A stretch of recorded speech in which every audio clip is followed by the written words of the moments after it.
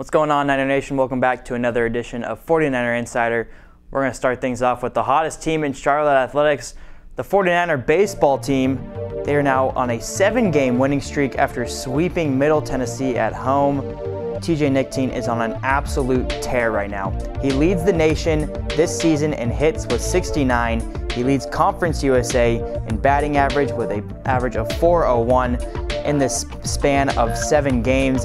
He's batting 471. This dude is on fire. He even won Conference USA's Hitter of the Week.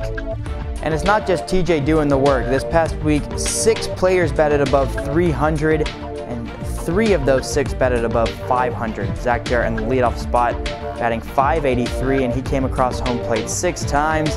Hunter Jones is on an absolute tear.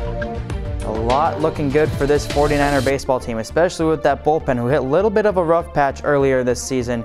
But Philip Perry, Colby Bruce, Jonah Patton, Brandon Vogler, JD Prohaska all did not give up a single run this weekend. Baseball now sits at 24 and 16 overall and 12 and 6 in Conference USA.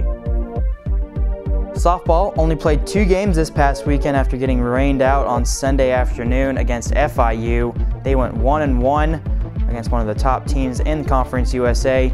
Haley Wiseman, after a rough outing in the first game, came back in the second game, pitched a scoreless shutout as the Niners went on to run roll FIU.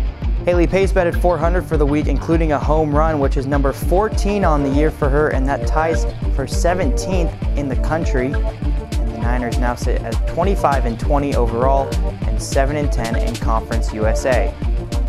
Football was back this past weekend for the annual green and white spring game. Hasaan Klugh was back out on the field, throwing for 12 of 14 and 93 yards. Brooks Barden, the redshirt junior, threw 5 of 9 for 61 yards and a touchdown.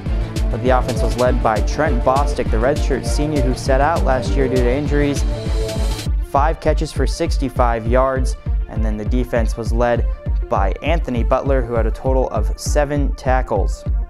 The women's tennis team seeded number seven in the Conference USA Championships down in Denton, Texas.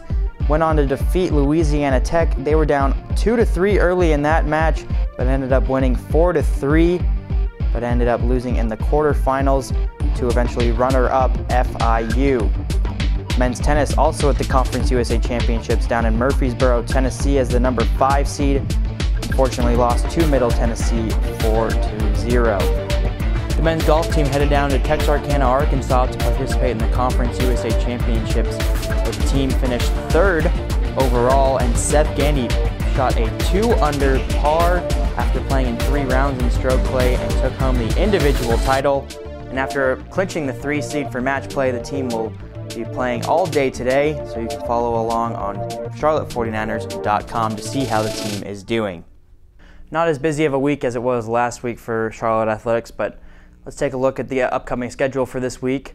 Baseball plays today against Kennesaw State, and then we'll travel down to Birmingham to take on UAB for our weekend series. Softball at Appalachian State on Wednesday, and then we'll also travel to Southern Miss for another weekend series. And then track and field, a split squad. One team will go down to the Penn Relays and the other to the Virginia Grand Prix. That's all we have for you this week, so make sure to tune in next week, next Tuesday, for another edition of 49er Insider. Go Niners.